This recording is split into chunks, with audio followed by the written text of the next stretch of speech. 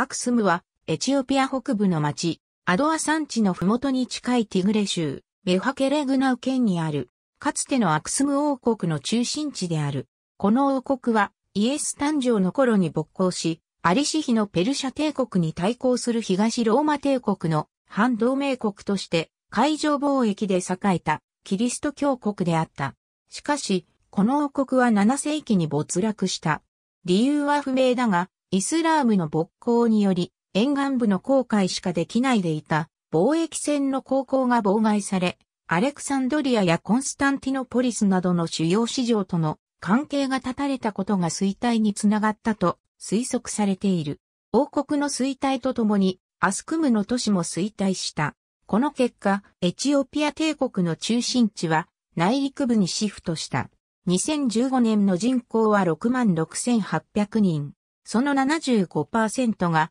エチオピア正教徒で、残りはスンニ派のムスリムや非正教系のキリスト教徒である。アクスムアクスムにはアクスム空港がある。その歴史的価値から考古遺跡群がユネスコの世界遺産に登録されている。アクスム王国はゲーズ語と呼ばれる独自の文字言語を持っており、古いものは紀元前5000年から前2000年まで遡る巨大なオベリスクに代表される独自の建築様式を発達させていた。この王国はエザナ王の時に最盛期を迎えた。公式にキリスト教に改宗したのも、この時期でエザナ王もアブレハという洗礼名を持つ。初期の伝道を行った人物として、エチオピアの大主教フルメンティがいる。エチオピア正教会は、シオンのマリア教会に、モーセの十回を刻んだ石板を収めた契約の聖器があると主張している。この教会では、数世紀にわたりファシリデス・ミカドの治世までの代々のエチオピア皇帝が礼拝し、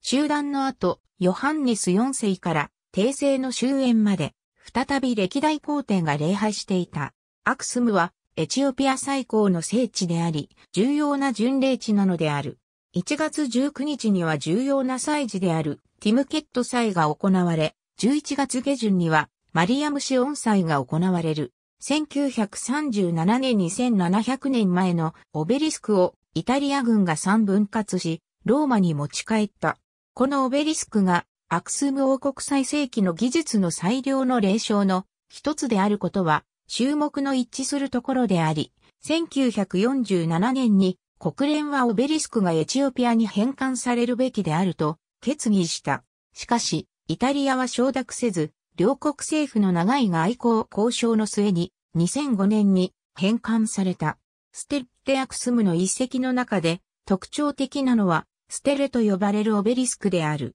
立っているもので最高のものは全高24メートルのエザナ王のステッレである。ステレが集中する北ステッレ公園には横たえられた33メートルのステッレもあるが、これは建築中に倒れたと考えられている。それらは墓標だったようであり、鋳造された金属板を側面に貼り、窓などを思わせる建築上の彫刻が施されている。シオンのマリア教会の石板が収められているという礼拝堂この世界遺産は世界遺産登録基準のうち以下の条件を満たし登録された。G. ムークター、ユネスコゼネラルヒストリーオブアフリカ、ボリューム2、アブリッジドエディション、PP 215から35 ISBN 0から852550928ハウスジュゲベンフォンリグジーグベトエンサイクロペディアイーテオプカ D ハー P871 JD ファイエ